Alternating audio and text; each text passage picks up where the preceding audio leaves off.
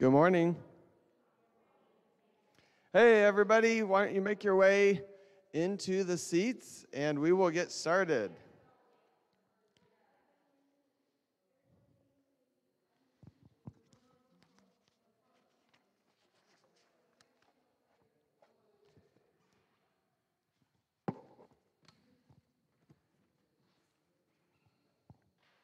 All right, good morning, everybody. Nice to see you all safe and sound. So snowy outside. We are here to worship the Lord Jesus together and uh, we're excited to be able to be the family of God together. Um, I wanted to start us out by reading a devotional that I have been reading. It's uh, on hope. So this is from Paul David Tripp. It's a, it's a devotional I'm reading, um, but I wanted to just, uh, it reminded me of some really important truths, and I wanted to start us out with that this morning. If you pay attention and listen carefully to what you and the people around you are saying, you will realize that we are hope obsessed. Day after day, the things we do are fueled by hope. Little third grader Sally says to her mom as she gets ready for school, I sure hope the girls at school like me. Mom thinks to herself that day, I hope our marriage gets better. Teenager Tim says to his buddy, I've got a new job after school. I hope it's decent. Dad worries in the hope that he won't be one of the guys who's caught in the downsizing that his corporation is doing. From hoping that a certain meal will be good to hoping that we will have the moral strength to do the things we should do, our lives are fueled and directed by hope. What we're all searching for is hope that won't disappoint us, that won't leave us hopeless in the end. And we all want to convince ourselves that what we have placed our hope in will deliver. What are you asking of something when you place your hope in it? You're asking it to give you peace of heart. You're asking it to give your life meaning. You're asking it to give you purpose and direction. You're asking it to give you a reason to continue. You're asking it to help you through the difficulty and the disappointment. You're asking it to free you from envy or anxiety. You're asking it to give you joy in the morning and rest at night. Now, that's a lot to ask of anything. That fact confronts you with this reality if your hope disappoints you, it's because it's the wrong hope. Romans 5, 1 through 5 talks about a hope that won't disappoint you even in times of suffering. Maybe you're thinking, where can I find that hope? Sturdy hope that does not vanish with the constant changes in situations, locations, and relationships that make up all of our lives. Hope that simply will never, ever disappoint us can be found in only one place. It is not found in a certain thing, it is in fact a person, Jesus. Whether you've realized it or not, He is what your hoping heart has been searching for.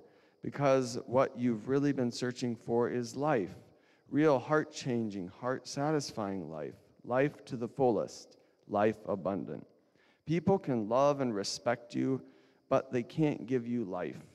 Situations can make your life easier, but they can't give you life. Locations can bring some changes to your life, but they can't give you life.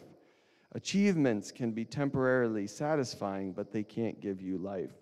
True, lasting hope is never found horizontally, it's only ever found vertically at the feet of the Messiah, the one who is hope.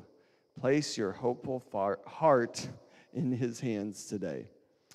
Um, and the verse that I was reminded of was 1 Corinthians 15 22, which says, For as in Adam all die, so in Christ all will be made alive. And that's the hope that we have um, that Jesus, the new Adam, the perfect Adam, is able to give us real hope that won't disappoint us.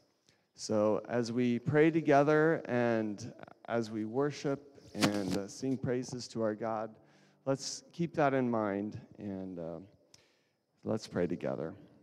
God, thank you so much for the opportunity to gather together um, in past times, people gathered together um, in fear and, in some anxiety that uh, their actions were illegal. And in fact, that is happening in many countries in the world, uh, even this day. And uh, many of our brothers and sisters in Christ are, though it's hard, though there is fear that they will be found out by the authorities, they still gather and they still worship your name and seek you. And we, we along with them, just unite our hearts and voices in praise to you and thanksgiving for giving us a hope that will not disappoint and giving us abundant life. We thank you, Lord Jesus. Help us to worship you this morning and to look to you. In your name we pray. Amen. Let's worship the Lord together.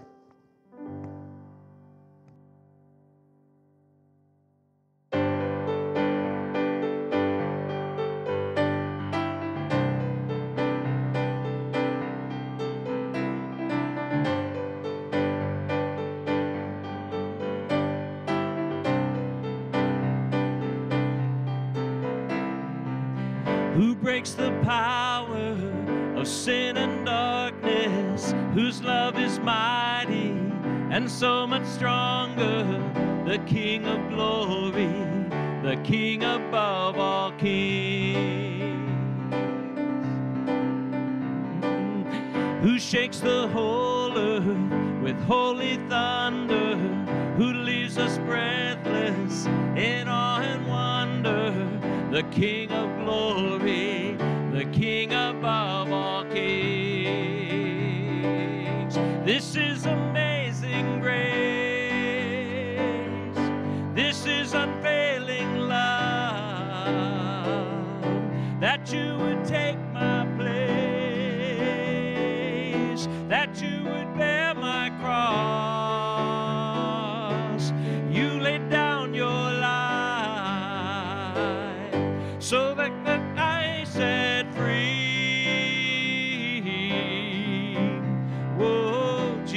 I sing for all that you've done for me. Amen.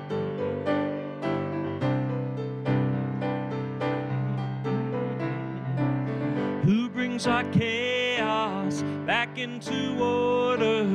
Who makes the orphan a son and daughter?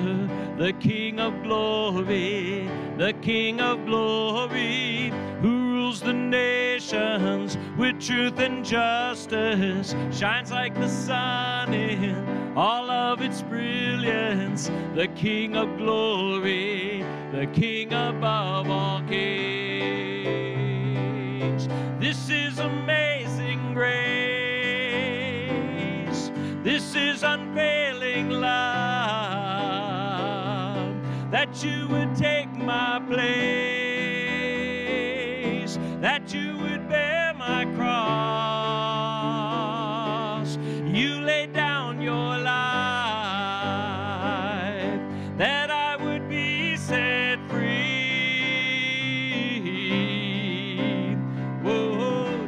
Jesus, I sing for all that you've done for me.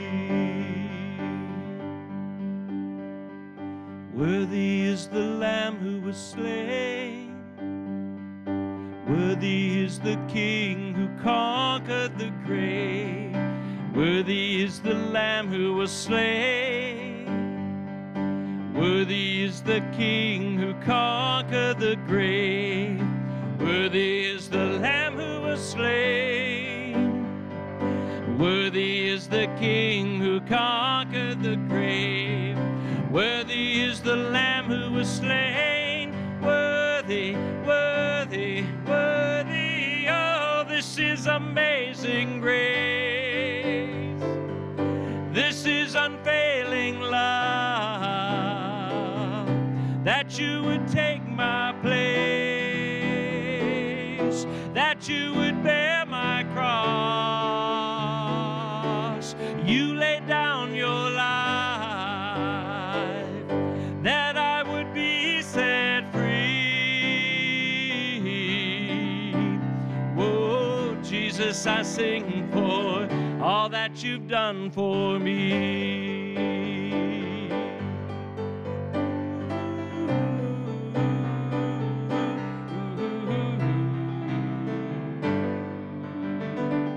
Let's give the Lord praise and glory. I love that verse in the Bible that, that talks about this. It says, God made him, Jesus, who knew no sin. He never had an evil thought, but God made him become sin at the cross. So even though he never lied, he became guilty of every lie that had ever been told, ever. And uh, he never had an evil thought. He never stole. He never uh, commit bore false witness against a neighbor. He never sinned in any way, but he became guilty of all those sins willfully so that we could be saved. That's the amazing grace. And then God credits to the believer in Christ his righteous life. It's truly something that we can honor him for here today and praise him for. How can we say thank you for this? Sing with me. Who am I that the highest king would welcome me? I was lost, but he brought me. Oh, his love for me. Oh, his love for me. Who the sun sets free. Oh, his free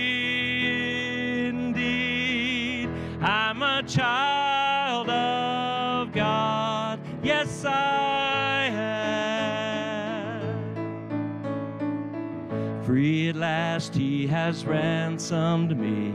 His grace runs deep. While I was a slave to sin, Jesus died for me. Yes, He died for me. Who the Son sets free, oh, is free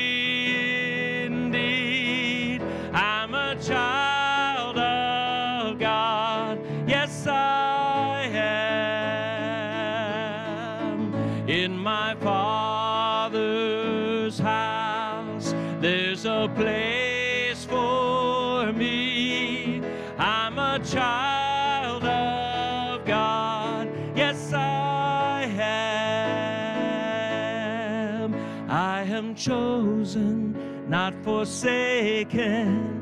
I am who you say I am. You are for me, not against me. I am who you say I am. I am chosen, not forsaken. I am who you say I am. You are for me, not against me.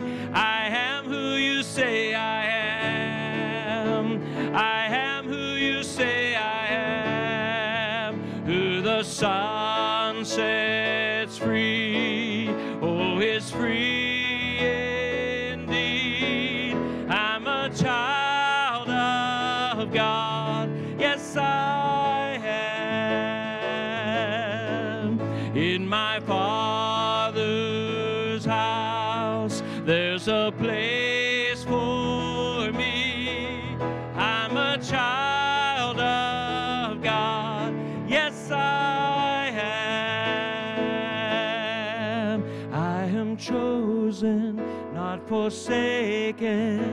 I am who you say I am. You are for me, not against me. I am who you say I am. I am chosen, not forsaken.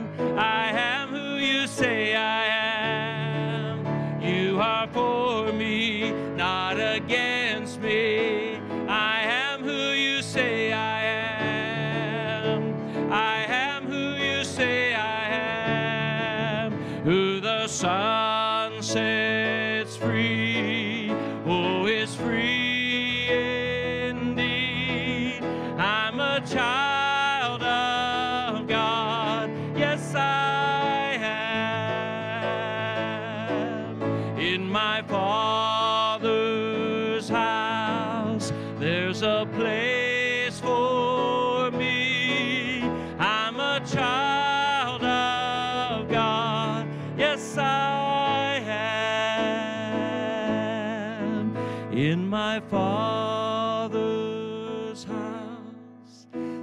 a place for me. I'm a child of God. Yes, I am. Lord, we want to thank you. Amen. Praise his name. Lord, we want to thank you this morning for adopting us into your family. Thank you for sending Jesus to be our Savior. And through him, we are your children. We're sons and daughters of the King. And thank you that that's who you say we are. And we, we give you praise today as our God. How can we say thanks enough, Lord? We've gathered on this snowy winter morning to honor your name and to give you thanks. And would you bless the people that have come, those maybe perhaps who are going to watch this online later? God, draw us into your presence. Encourage your people and strengthen us as we worship you and turn to you in this time of worship. Thanks for everyone who's here. In Jesus' name, I pray these things. Amen. Amen. Please be seated. Okay, good morning again, everybody. Just a couple of announcements. We are, Anna, can you advance to the announcement slide? There's a couple opportunities for prayer, which would be awesome for you guys if you can partake in those listed up there on the screen, the ones that are coming up, um, especially since we're going to be talking about prayer this morning in the message. So take advantage of those opportunities um, if you're able to um, join others in prayer. It's very encouraging when the body of Christ gets together to pray, specifically to seek God. Um, so take advantage of those. Also, um, next slide. Members meeting, February 6th is coming up. If you're a member here at Westside Alliance, please plan to be there. Um, we are going to make that a opportunity to look back as a church family and to look forward at um, and just see what God is doing among us. So please plan to be there. Next slide. Okay, so we want to have a send off for the Gearharts. They're not here this morning, but um, they're going to be with us up through the end of this month. So Mike and Wendy, Cole and Ivy on the 30th after the uh, worship service, we're going to have a get together time, and uh, lunch is going to be provided and just an opportunity to talk with them and, and ask questions, um, just express love, express uh, support for what God's doing in their life. So plan to be there for that. Um, we're, we're hoping that it'll just be a really encouraging time for them, um, but also for us just to connect and, uh, and to say goodbye in, in one way, in one sense. Um, but of course, as believers, uh, we don't ever have to say goodbye in the final sense, but um, we want to make that opportunity available to us as a church family. Okay, next, children's ministries update. Um, I guess I will take the opportunity right now to officially welcome my wife, Joy Heiberger, onto staff uh, here as the interim children's ministries um, person and she'll be coordinating and directing children's ministries here on Sunday mornings. Um, so connect with her and um, welcome her, and, um, and if you have questions, feel free to talk to her and reach out to her. Okay, next slide. 40 days of prayer. If you haven't signed up for that, feel free to, you can still contact Wendy and ask for help signing up for that. She's still available through email and whatnot, but um, you can also sign up through the link that you should receive um, every week through the church email newsletter. So feel free to sign up for that. That is a uh, alliance denomination that we're a part of, wide event focusing on prayer. Um, so check that out. Okay, next slide. Is that it? Okay. Last um, announcement is if you have a specific prayer request, um, feel free to write it down on the welcome card in front of you, and we'd love to be able to pray for you um, regarding that um, throughout the week as staff. So please feel free to write down your prayer requests. And um, Debbie, is it okay if I share your news? I wanted to ask you. Is that okay? Okay. So I just wanted you all to uh, know that William, Debbie's father, passed away this past week. And just uh, encourage her, pray for her. She goes down to Georgia this week um, for the memorial service. And um, yeah, we'll pray right now as we lead back into singing and, and worship. So thank you, Lord Jesus, for our sister Debbie and for just the fact that her father knew you and was a part of her coming to know you. Um, thank you so much for that legacy of passing faith down um, to children and having it continue on. Um, it brings you glory, Lord. And I thank you for all of us who can say we have experienced that as well. Um, so please comfort Debbie and uh, just pave her way down there without any obstruction. Help her to be able to get down there and to really have a blessed time with her family um, as they celebrate her father's life. And as we uh, worship, Lord, continue to help us see you better and to give you glory in our own hearts and lives and um, take away um, or I guess show us, Lord, what, what needs to be surrendered to you in our lives that might be striving to take your place. We ask this in Jesus' name. Amen. Let's continue worshiping Jesus together. Amen.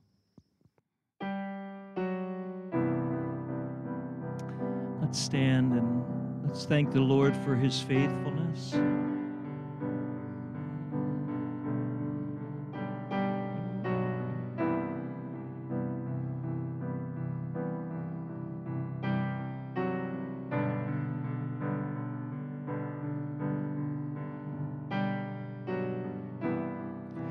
walking around these walls. I thought by now they'd fall, but you have never failed me yet.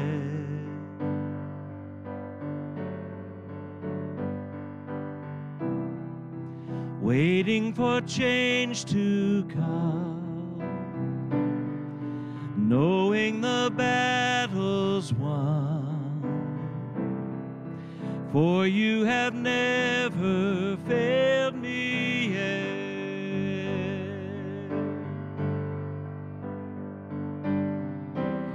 Your promise still stands. Great is your faithfulness, faithfulness. I'm still in your hands. This is my confidence.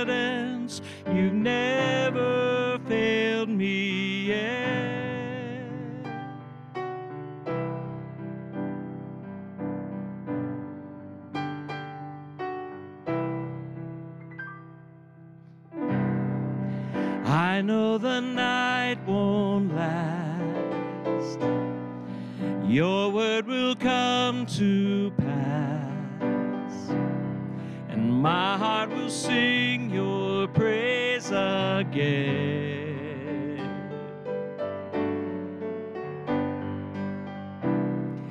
Jesus, you're still enough. Keep me within your love, and my heart will sing your praise again.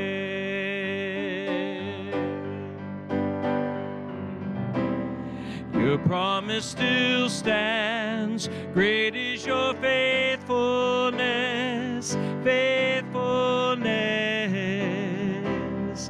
I'm still in your hands. This is my confidence. You've never failed. Your promise still stands. Great is your faithfulness,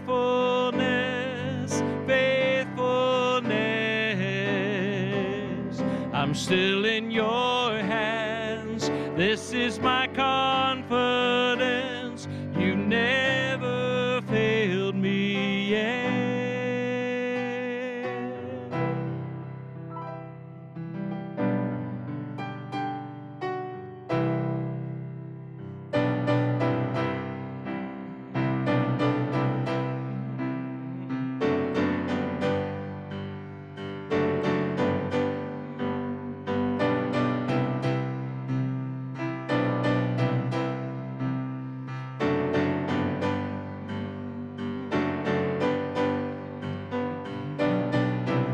I've seen you move, you move the mountains, and I believe I'll see you do it again. You made a way where there was no way, and I believe I'll see you do it again. I've seen you move, you move the mountains, and I believe I'll see you do it again. You made a way where there was no way, and I believe I'll see you do it again.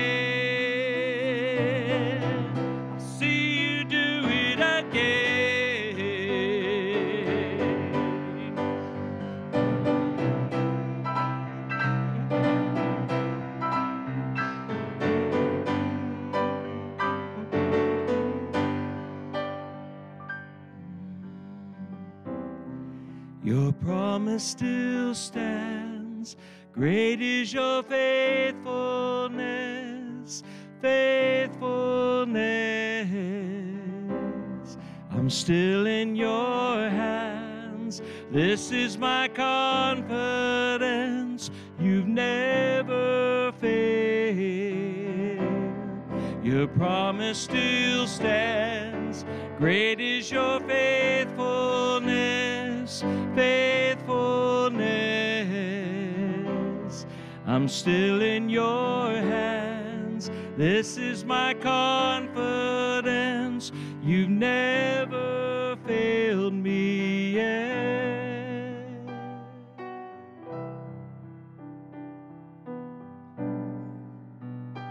You've never failed me yet. I never will forget.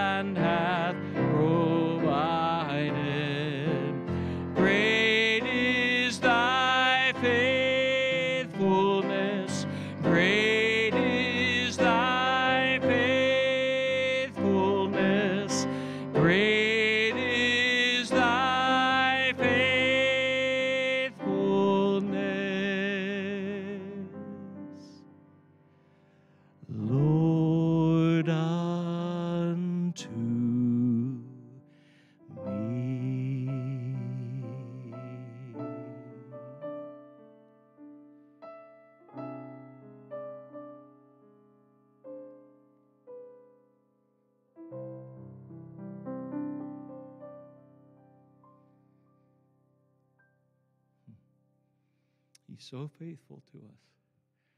Praise his name. Are we dismissing kids today? We are. Okay. Kids, go ahead and be dismissed. Thank you for being part of our worship. We so just love having you here. Praise the Lord. And the rest of you may be seated. Kids can be dismissed.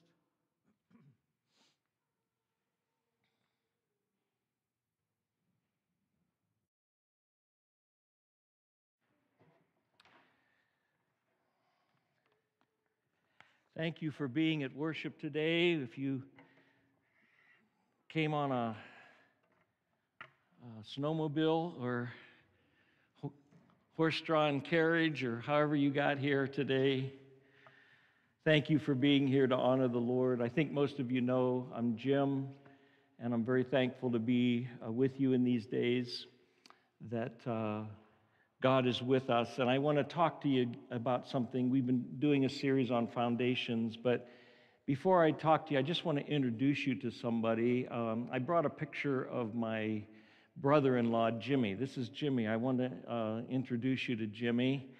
Uh, Jimmy is my wife's brother, my brother in law, although he uh, never liked the title brother in law. He didn't like the in law part. We were just brothers. And uh, Jimmy had a difficult life. Obviously, you can tell he had Down syndrome, uh, ear surgeries, poor eyesight, diabetes, later in his life, kidney failure, dialysis, and he passed away about seven years ago. Went to be with the Lord um, at the age of 52. But I want to tell you, Jimmy led a blessed life, a really blessed life. And here's a picture of Jimmy in, in one of our family gatherings. In fact, this was Mother's Day, and he had an annual uh, Mother ceremony. So you can see him holding some cards there. That was for the Mother of the Year, the first runner up, second runner up. Uh, our family got a lot of laughs because uh, his mother only won once in all the years. His, I, I, used to say, Jimmy, you have to let your mother win, you know. And he said to me, I, I, I can't control that. Like he doesn't, like, like he's not doing the whole thing, but he's like, I can't control that. No, Jimmy, you have to let your mother win. So he was full of life. He was full of love. He, was, he had a quick wit. Uh, and he touched our lives in so, so many ways. But the main reason I'm introducing you today to Jimmy is for a specific reason. Jimmy loved the Lord. He had a simple faith. He didn't understand uh, Reformed theology as opposed to other theologies. He didn't understand uh, penal substitutionary atonement. He didn't understand all the theology. But Jesus loves me, this I know. For the Bible tells me so. Jimmy had a strong faith. And he loved to sing and worship. So it was common whenever we got in the car, he would just say to me, Let's sing. And we'd start singing, going down the road, and we were quite a sight. Now, Jimmy could not sing a lick. He had the worst voice. He, he couldn't carry a tune if he had four buckets. He just, but he sang his heart out. And he loved victory and oh, victory! That's what it sounded like. Yeah, Jesus, my Savior. That's what it sounded like. And we get to the end of the song. He plunged me to victory beneath his cleansing uh, flood, and he'd say, V I C T O R Y. We always had to do this victory call at the end of it. And Jimmy loved to pray.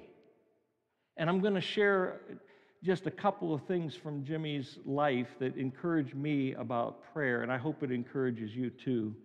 Because that's what we're going to turn to today. The foundation of prayer is what we're talking about today. We're in this series called Foundations, and as we talk about prayer, we, we know that, first of all, this is such an important topic that it's one of the core values of of the Christian Missionary Alliance. Uh, the Christian Missionary Alliance has this core value prayer is the primary work of God's people. Prayer is the primary work of God's people. Now, I want to get the elephant out of the room right now. I am not here today to lay any guilt trips on you or me about your prayer life or how much you pray I think it's, uh, could we just agree at the beginning of this message that all of us should and could pray more? Okay, can we just get that out on the table? I'm not going to uh, lay guilt trips on you about that. But I'm also very much hoping that this message will be an encouragement to you, a blessing to you. And it will encourage us to do just that, to pray more, to seek God more, and to turn to Him more. So I just want to pray for us as we begin, okay? Father, I want to thank you for even what I'm doing right now, the ability to talk with you and know that you hear what I'm saying. And not only that, not only do you hear it, but you want to draw near to me as I do that, draw near to all of us here this morning. I pray that the, the message today would not just be pouring out more information, but I pray it would be something that that would encourage all of us to seek you more and that we would understand in a new and a fresh way just how important it is to and foundational it is to talk with you and seek you and depend upon you. Encourage the people today, bless them, use this message toward that end. I ask it in your name that you might be glorified. Amen. Amen. I just want to outline for you, just as we begin, I'm going to just uh, do a whenever a pastor says he's going to go through the whole Bible, uh, I'm going to go through the foundation of prayer as it's seen throughout the scriptures, okay, from beginning to end. I'm going to do that quickly, okay? That's not going to take all day. But I want to lay a foundation that prayer is foundational. You can't uh, read a Bible and, and say, uh, you, you can't pick up how foundational prayer is in the life of all seasons, all saints throughout all of history, and even into the future, it's going to be important.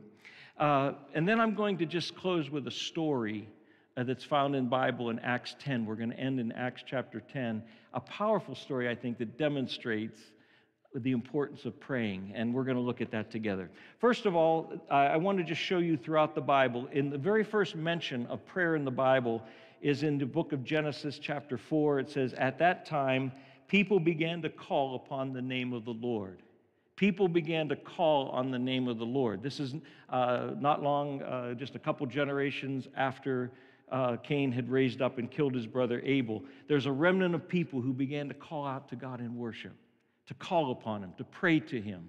I don't know what the, the Bible doesn't expound on what that was about, what caused them to want to reach out to God, but they began to call upon him. You see the same thing in the life of Abraham years later uh, God calls Abraham to leave, go to the land of Canaan. When he gets there, it says Abraham built an altar to the Lord and called upon the name of the Lord. There you see it again. Abraham called on God. He turned to God, he worshiped him. And then Moses, years later after uh, Abraham, Moses said, For what great nation is there that has a God so near to it as the Lord our God is to us whenever we call upon him? Do you see this was the distinguishing factor between uh, the nation of Israel and all other nations? They called upon Yahweh. And when they called upon him, Moses says, What nation has a God like Yahweh that when we call to him, he draws near to us, He moves on our behalf. He delivered them from the bondage of Egypt. Prayer is that pathway to the very presence of God. God says, Draw near to me, and what's the promise? I will draw near to you, says the Lord. Draw near to me, I will draw near to you. That's prayer. One of the most moving prayers in the Bible is found in the book of Samuel years later, and uh, by a woman named Hannah. It's one of the most moving. It says in 1 Samuel chapter 1 verse 10, she was deeply distressed and prayed to the Lord and wept bitterly. She was facing infertility and it was just breaking her and she cried out to the Lord. She came to the uh, temple and she started to pray. It says this, as she continued praying before the Lord, Eli the priest observed her mouth. Hannah was speaking in her heart. Listen to this. Only her lips moved and her voice was not heard. Therefore, Eli took her to be a drunken woman. And Eli said to her, How long will you go on being drunk? Put your wine away from you. But Hannah answered, No, my Lord, I am a woman troubled in spirit. I have drunk neither wine nor strong drink, but I have been pouring out my soul before the Lord. See, that's real prayer. It's not this written, formal not that there's any, never any value in writing out a prayer. I'm not saying that. But prayer is something, it's a heart that cries out to, oh God, please help me. God, I need you. God, please, if you don't come, it's that kind of spirit. That's prayer. David knew about this. He said in Psalm 4, verse 3, But know that the Lord has set apart the godly for himself. The Lord hears when I call to him. This is fun. Do you believe that? Do you believe that God hears you when you call out to him? He wrote in Psalm 116, I love the Lord because he has heard my voice and my pleas for mercy, because he inclined his ear to me. Therefore, I will call on him as long as I live. I'll keep doing it. I'm going to keep calling on God. He heard me. I love that picture. God doesn't have a physical ear, of course. but David says he turned his ear toward me to listen. In other words, I was calling out to him and he was not deaf to my cry. God will not be deaf to your cries either if you call out to him like that. Let's keep moving through the Old Testament. The Daniel prophet is in exile. King Darius has signed this edict. You remember the story that no one can seek any god or petition any other god or man other than the king for 30 days. And this is what Daniel does. Daniel 6, verse 10 When Daniel knew that the document had been signed, he went to his house where he had windows in his upper chamber open toward Jerusalem. He got down on his knees three times a day and prayed and gave thanks before his God as he had done previously. Didn't matter. King's edict, I don't care. I'm seeking my God. I'm going to thank him. I'm going to call upon him. After the exile had ended, a remnant of, of some of the Jewish people came back to Jerusalem. If you know your history of the Old Testament, uh, Nehemiah is serving as a cupbearer for King Artaxerxes at the time. And uh, right, he, he hears that there, the exiles that have gone back are really struggling, having a rough time. He starts pouring out his heart to God. It's troubling him so much. And he wants to seek the king so he can go and help the effort. But he's afraid if he approaches the king that it would seem to the king that, that, uh, that, he's dissatisfied somehow with the king. He could actually lose his life if you, put, if you rub the king the wrong way in those days. And so he goes in and talks to Nehemiah. Excuse me, Nehemiah talks to the king and he says, Then the king said to me, What are you requesting? So I prayed to the God of heaven. I love this. He didn't, he's talking, he's in a conversation with the king, I don't think he said, okay, wait just a second, king, I'm going to pray right now. I think just in his heart, when the king says, What do you want? He's, he, in his heart, he just started whispering in his mind, in his heart, Oh God, help me. Help me, God. Help me with what I'm about to, you know. Just quickly, he prayed. And then he said, If it pleases the king, send me to Judah, to the city of my father's graves, that I might rebuild it. I think this is what the Bible means when it says pray without ceasing. It's just throughout the day, you're, you're just always turning to God with something.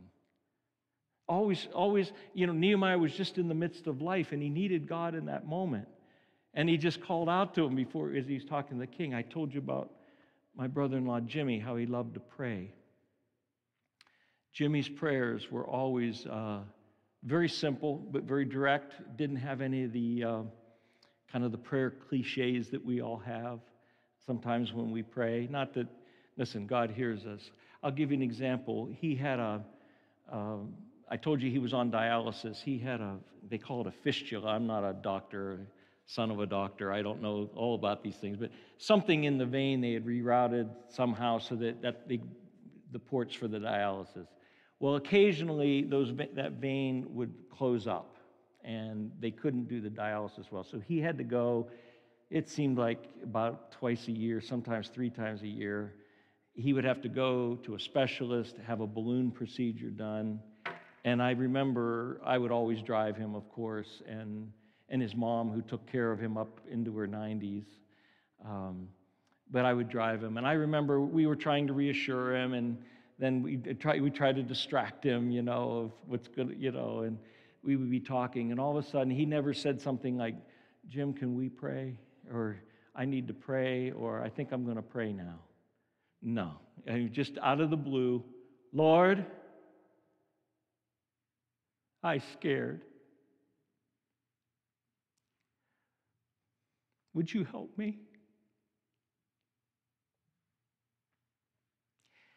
Don't think you have to be sophisticated in your praying. Don't feel like, don't be intimidated by us preacher types who seem to have all the right words and the right form. And that's not what God looks at. It's like whenever I was in a moment like that, I, I knew I was in a holy moment where a human being was touching the heart of God. And God was helping him.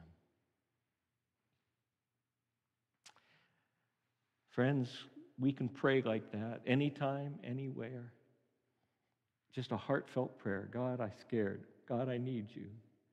God, I don't know what to do. God, help me to do the right thing. God, give me wisdom. God, I'm discouraged. God, whatever. God will hear us. Jesus, of course, often prayed, didn't he, when he was on earth and he walked among us. It says, And rising very early in the morning while it was still dark, he, Jesus, departed and went out to a desolate place, and there he prayed. Jesus often lonely places and prayed. And this had a deep impact on his disciples. And they said to Jesus one day, Lord, teach us to pray like you pray. Isn't that interesting? They were with him all the time. They saw him do miracles. They saw him uh, exorcise demons from people. He saw them. He saw him preach and so forth. They never said, "Lord, teach us to preach like you do." We'd love to know how to preach and tell stories like you do.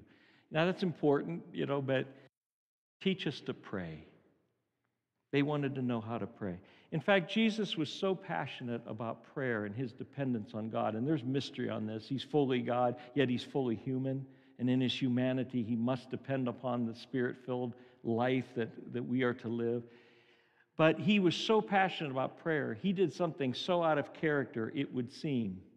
When he went into the temple and, it, and uh, he started to throw out and drive out the money changers and over can you imagine jesus like in a religious setting coming in and overturning tables and getting a, a cord with a get out of here get out of here sending and they're just causing mass chaos to the money changers who were there to provide the right currency that you could use for the offering for the passover. So they were there for religious purposes. He says get out of here.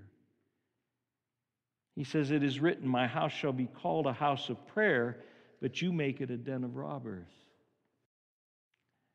Quoting Isaiah 56, My house, God says, shall be a house of prayer. In other words, there is to be in the church and in our personal lives an atmosphere of prayer, an atmosphere of dependence, a turning to God. This is primary, this isn't secondary. This, uh, I love that we were able to worship. I love that you're listening to preaching today. These things are important. But you know what? If you don't connect with God,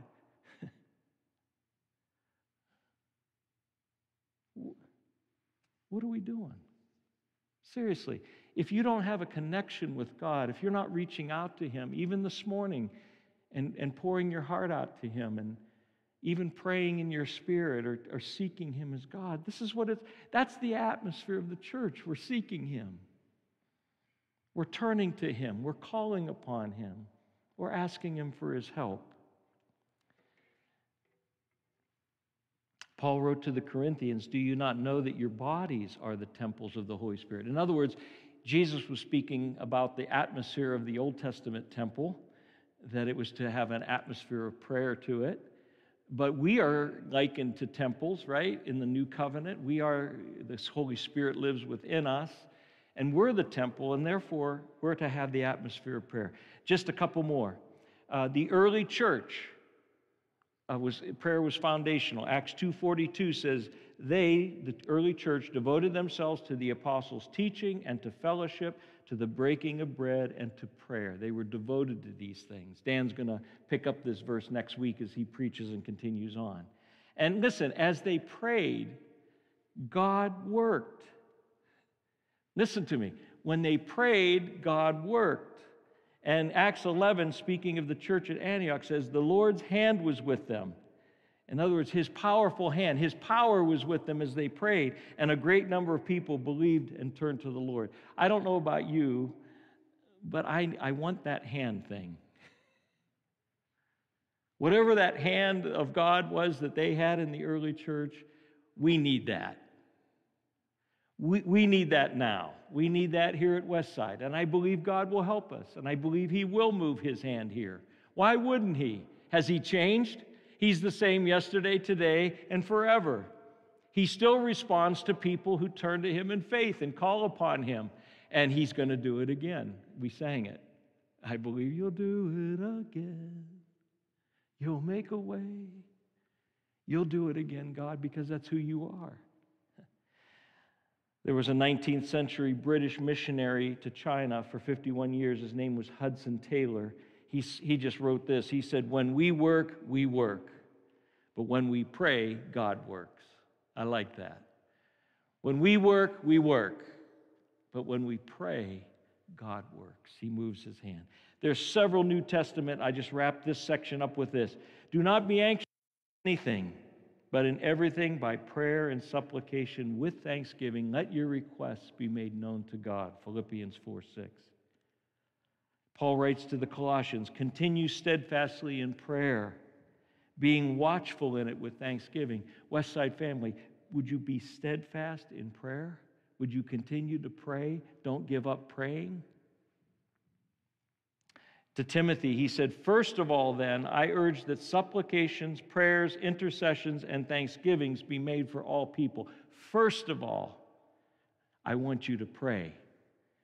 Before you consider what kind of services you have, what your meetings look like in the homes that they were meeting in, I want you to pray. This is primary. And here's one that we don't think of. This is Revelation 5, verse 8. John gets this glimpse of the worship in heaven and it says that in heaven, as they're worshiping, there are golden bowls full of incense, which are the prayers of the saints. The prayers of the saints were represented in this vision as a bowl of in a golden bowl filled with incense, this aroma that's pleasing to God. How precious is that? That our prayers are like a fragrance before God.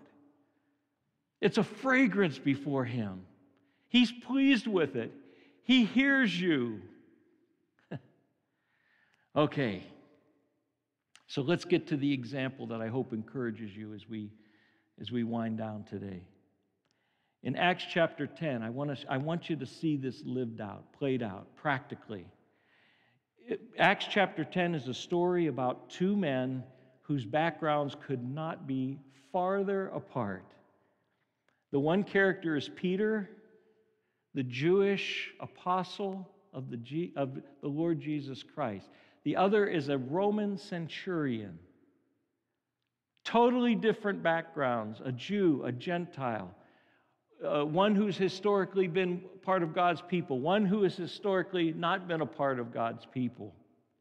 And their lives are going to intersect in Acts chapter 10, and God put it in the Bible to, I believe, encourage us and to show us that when He wants to do a work, He's going to use people who are praying to accomplish it, okay? So look, let's look at it together. Acts chapter 10, verse 1 says, At Caesarea there was a man named Cornelius, a centurion of what as the Italian cohort, a devout man who feared God with all his household, gave alms generously to the people, and prayed continually to God. So he's not your average uh, Roman centurion, okay? We'll talk about that. But listen, he prayed continually to God. About the ninth hour, three o'clock in the afternoon, he saw clearly in a vision an angel of God come in and say to him, Cornelius. And he stared at him in terror. A commander of Roman soldiers in, in terror at the presence of this angel vision from God. What is it, Lord? And he said to him, Your prayers, listen, and your alms have ascended as a memorial before God. And now send men to Joppa and bring one Simon who is called Peter. He is lodging with one Simon, a tanner, whose house is by the sea. When the angel who spoke to him had departed, he called two of his servants and a devout soldier from among those who attended him, and having related everything to them, he sent them to Joppa. Okay? So here he is. He's a worshiper of the God of the Jews. He hadn't fully, they, they're called God-fearers. They hadn't fully converted to Judaism, but he's a God-fearer. He's praying to the God uh, of the Jews. And God has heard this. He's been praying continually. And listen, as he was praying, he received direction from God. And I just want to say this to you people who pray will receive direction from the Lord. People who pray will receive direction from the Lord. Trust in the Lord with all your heart. Don't lean on your own understanding. In all your ways, acknowledge Him, pray to Him, turn to Him. And what will He do? He will make his, your path straight. He will help you, He will give you guidance. Okay. So he sends the men to Joppa to, to bring Simon Peter back, okay? So now look at the, as the three men are on their way, this 30 mile journey down uh, to Joppa from Caesarea let's look at what's going on in Peter's life. Look at verse 9. The next day, as they, the three who had been sent by the centurion, as they were on their journey and approaching the city, Peter went up on the housetop about the sixth hour, noon, to pray. He's going up to pray.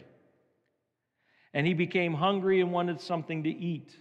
But while they were preparing it, he fell into a trance and saw the heavens opened and something like a great sheet descending being let down by its four corners upon the earth. In it were all kinds of animals and reptiles and birds of the air. And there came a voice to him Rise, Peter, kill and eat. But Peter said, By no means, Lord. By the way, that's, a, that's you ever see the irony in saying something like that? By no means, Lord. You tell me to do something. Oh, by no means, Lord.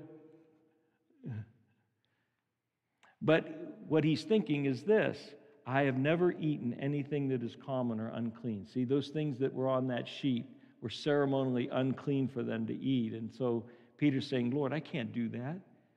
Those things are unclean. And the voice came to him again a second time What God has made clean, do not call common. This happened three times, and the thing was taken up, taken up at once to heaven. And so he's starting to ponder this. And just as he does, verse 19, the three men show up at his house. Verse 19 says, And while Peter was pondering the vision, the Spirit said to him, Behold, three men are looking for you. Rise and go down and accompany them without hesitation, for I have sent them. And Peter went down to the men and said, I am the one you are looking for. What is the reason for your coming? And they said, Cornelius, a centurion, an upright and God fearing man, who is well spoken of uh, by the whole Jewish nation, was directed by a holy angel to send for you to come to his house and to hear what you have to say. So he invited them in to be his guests. Peter realizes something's going on here. I just got three Gentiles knocking on my door. I'm not even supposed to be associating with them. But God says, you, you associate with them because I'm working in them. And I'm calling them to myself just like I called you to myself. Well, Peter obeys the Lord. And he goes with the men the next day to meet Cornelius. Verse 23b says, The next day he rose and went away with them, and some of the brothers from Joppa come. So now you've got some Jewish guys and some Gentile guys all heading together up to meet this Gentile soldier. And the following day they entered Caesarea. Cornelius was expecting them and had called together his relatives and close friends. Verse 27 And as he talked with him, he went in and found many persons gathered, and he said to them, You yourselves know how unlawful it is for a Jew to associate with or to visit anyone of another nation. But God has shown me that I should not call any person common or unclean. And I'll let you go ahead and read the rest of the story sometime, but I think you know how it ends. Peter tells them about Jesus. He says he's Lord of all. He, we were witnesses of all he did his miracles, his healing, all of his teaching. He was crucified for our sins, but yet God raised him from the dead. We saw him alive after his resurrection. And then he said, Everyone who believes in him receives forgiveness of sins through his name. And while Peter is still saying these things, there's a Gentile Pentecost, just like there was a Jewish Pentecost in Acts chapter 2. Cornelius and all who were with him believed in the Lord. They were saved from their sins, they were filled with the Holy Spirit, and then they were baptized. Wow. This application as we close, listen to this. When God wanted to fulfill his promise of salvation to the Gentiles, he chose to accomplish his work through two men who were praying. Okay? What if Cornelius was not praying to God?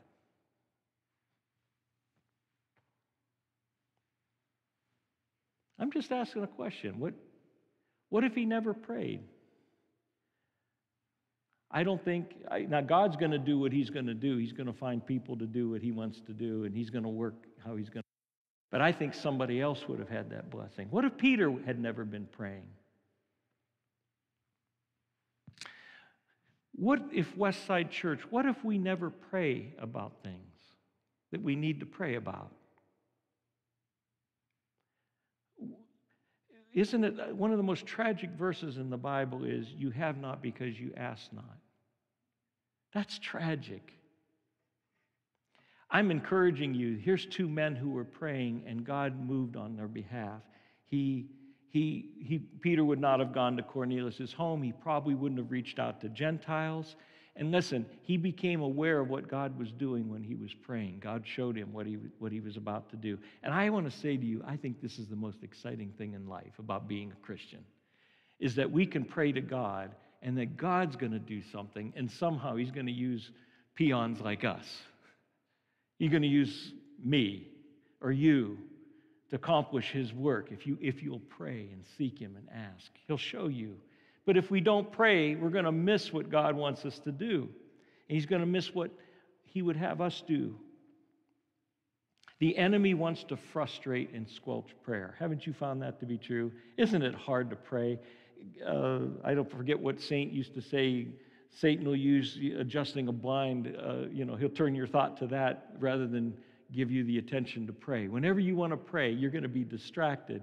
You're going to say, oh, I, or you want to set aside a time, something's going to come up. I'm, trust me, it's just, that's the way it works. The battleground is prayer. But I just want to encourage you. Let's, let's, let's ask God even for help in praying. Lord, help me to pray. Westside Church needs a new senior pastor. We need to pray for that. Many of you probably are praying for that. Keep praying for that. If you're not praying for that, pray for that. There are people that need healing and God's grace to, to move forward. We need to pray for people and encourage people. You know, maybe you need encouragement. All I know is this God will move his powerful hand if we pray. He will. Many of you know Corrie ten Boom, who had the Nazis for hiding Jews in her home in the Netherlands. She and her family were imprisoned, sent to concentration camps. All of her family died there. Uh, she alone escaped uh, due to a clerical error. She was released just uh, a f- few weeks before everybody that she had currently been living with went off uh, to the gas chambers. But she said this listen to these quotes of her. She says, The more I pray, the more coincidences happen. you know, the, I find the more I pray, oh, that was that a coincidence? No, God doesn't. And is prayer your steering wheel or your spare tire? One's vital. You have to use it all the time if you're driving. The other one's just in the case, ah, I get a flat, I need a, I need a spare. That encouraged me. One Sunday I was preaching at Hope Church in Brunswick, and my brother in law Jimmy was there visiting. And I don't remember what I had preached about, but even before we began singing the closing song, I remember him leaving his seat and walking up and kneeling in front of the church. I think I have a picture of it. you can see on the left there. I, I thank my percussion player who just happened to take a picture from, from the drums there. And uh, it's just so precious to me. And when uh, the service ended, I just invited him up onto the platform next to me. That's the other picture. And I had him pray for us. I was never ashamed to have Jimmy pray. I was never worried about what he would say. I was never worried that, well, maybe it's not going to make any sense. Maybe, maybe he'll say something off the wall, like the one time when the, the Browns were playing the Denver Broncos for the AFC Championship years ago, you know, the drive and the fumble. It was one of those games, and uh, the pastor at his church gave the benediction, and, and just before he dismissed the people, this voice from the back said, Go Browns! It was my brother in law, Jimmy. so you never knew exactly what he was going to say, but it was, it was so precious. And he just prayed a very simple prayer. And God, help my brother, help Hope Church.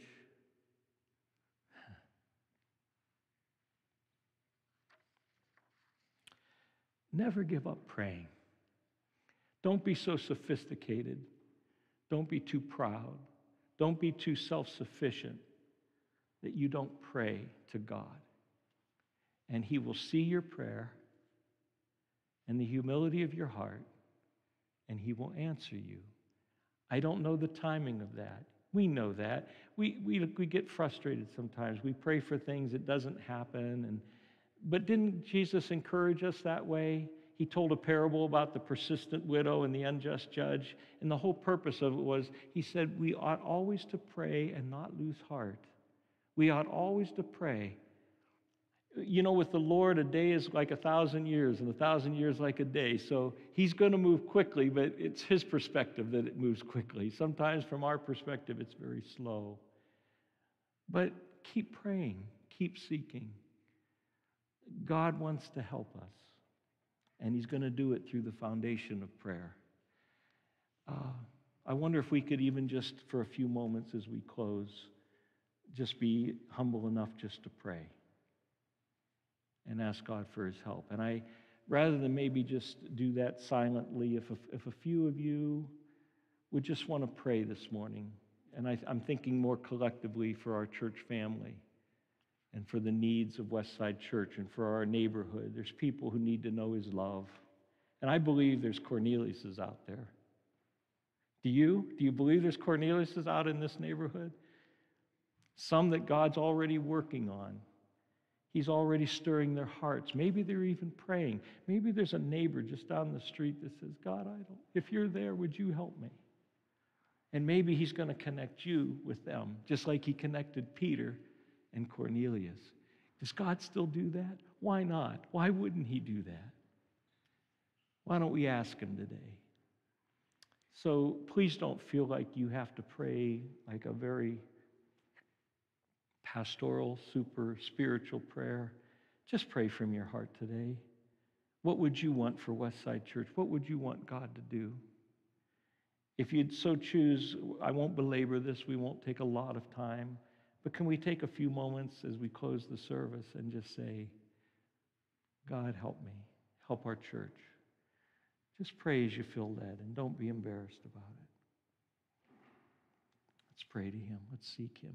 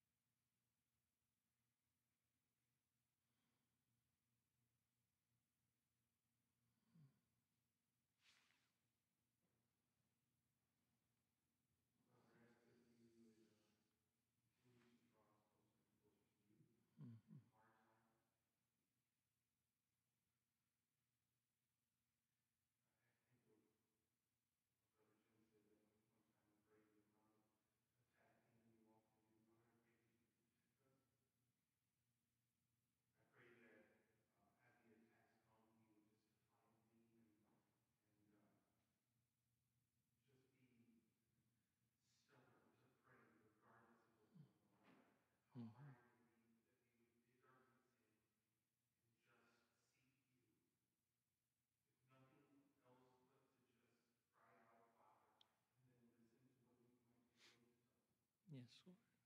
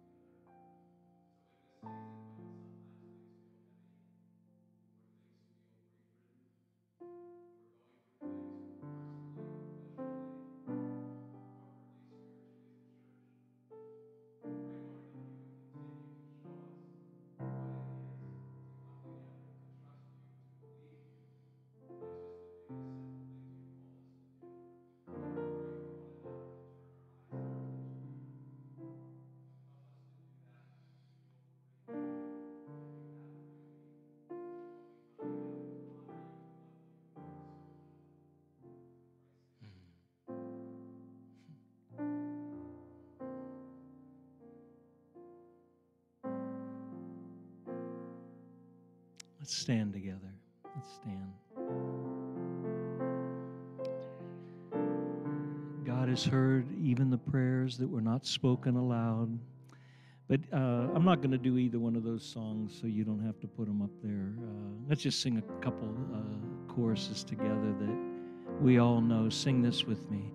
I need thee, oh,